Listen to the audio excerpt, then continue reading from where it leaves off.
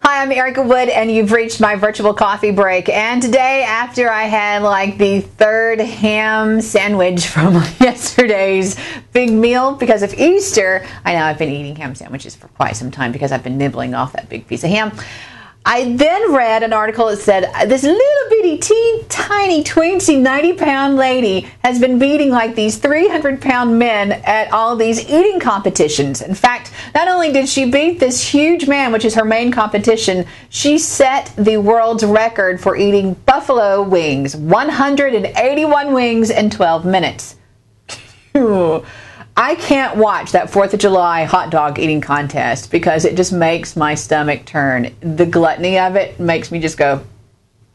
I don't even think like 10 years ago, 20 years ago, I could have watched it. Now, Ava's age, four, maybe but now I can't watch it. But I don't think it's fair that now because the uh, she's winning everything, the president of Nathan's hot dog eating contest uh, is scared that she's going to beat the big guy. There's now going to be a female and a male competition, and guess what? The females are only going to get paid five thousand dollars, and the males are going to get paid twenty. Why? Because the president of the whole shebang says, well, the women get so many more endorsements. Have you seen any of them? on either side? And if you did, would you buy any of the mess? Velcro. I don't think so. Tell me what you think. It's Erica's virtual coffee break. It happens every single weekday right here on magic96.com. Erica's virtual coffee break is being brought to you today by Alabama Telco Credit Union.